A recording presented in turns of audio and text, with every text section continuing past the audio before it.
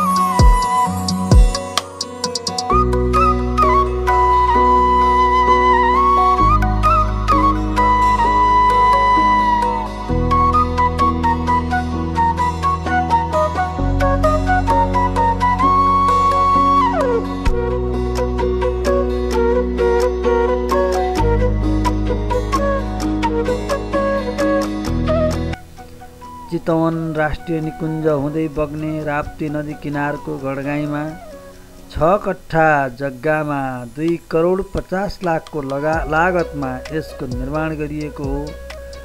सगडक खण्डबाट राप्ती किनारतर्फ एक एक सय बिस मिटर लामो सडक निर्माण गरी त्यसमाथि फाइबरका पाँच सय बिसवटा सप्तरङ्गी छाताहरू राखिएको छ।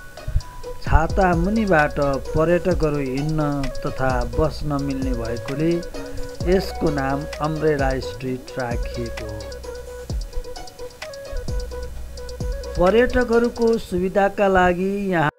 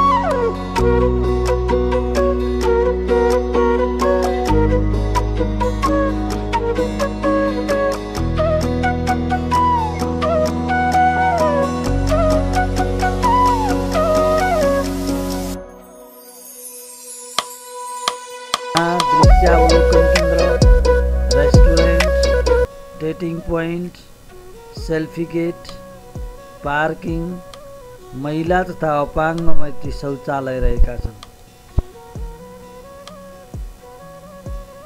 भरतपुर महानगरपालिका वडा नम्बर बाइसका निवर्तमान वडाध्यक्ष विष्णुराज महतो मरिसस भ्रमणमा जाँदा मरिससमा पर्यटकलाई आकर्षण गर्ने गरी त्यहाँ निर्माण गरिएका संरचना देखेकोले त्यस्तै प्रकारको गल्ली निर्माण गर्ने चाहना अनुसार यो भवन बनाइएको हो।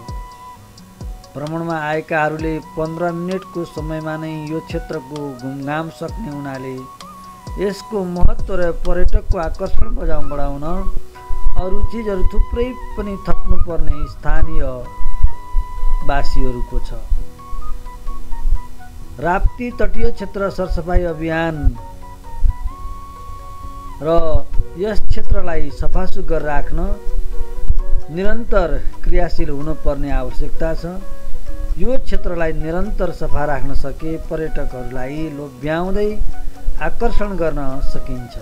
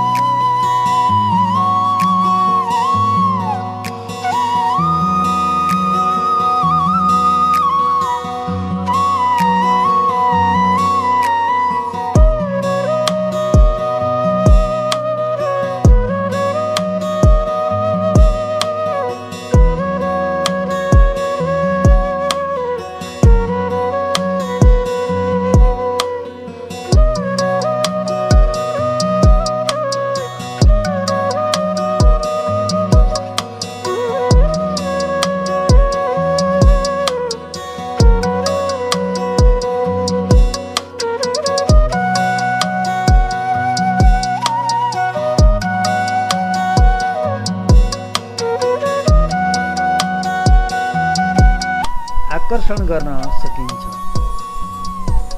चितवनमा सूर्यास्तको लोभलाग्दो दृश्य अवलोकन गर्न सौराहा गोलाघाट नारायणी किनारसँगै हिजो आज घटगाई अवस्थित यो छाता गल्ली पनि धेरैको रोजाइमा परेको